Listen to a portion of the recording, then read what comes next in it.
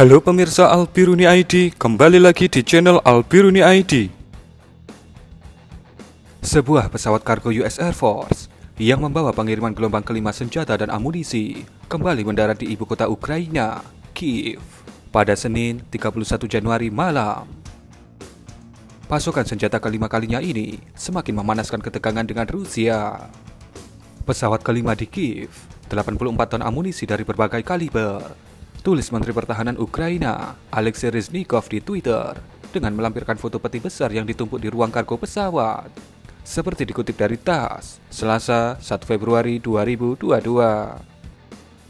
Dia mengatakan dalam beberapa hari ke depan, Ukraina masih menunggu pengiriman persenjataan pertahanan berikutnya dari Amerika. Pasokan senjata blok barat ke Ukraina meningkat pada awal Januari ini, di tengah klaim bahwa Rusia akan menginvasi Ukraina. Pada 22 Januari, Kiev menerima lebih dari 90 ton senjata mematikan dari Amerika. Diikuti dengan pengiriman lainnya pada 23 Januari.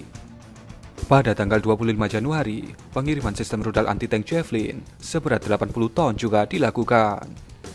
Lebih banyak senjata dan amunisi tiba di Ukraina pada 28 Januari.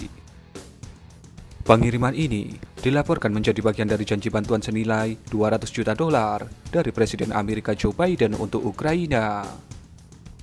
Sementara itu, berbicara di Dewan Keamanan PBB, Duta Besar Amerika untuk PBB, Thomas Greenfield menambahkan, Anda tidak mengumpulkan 100 ribu tentara Anda di perbatasan jika Anda tidak memiliki niat untuk menggunakannya. Dan inilah kabar terbaru dari ketegangan antara Rusia dan Ukraina. Apa prediksi Anda melihat situasi seperti ini? Berikan komentar Anda.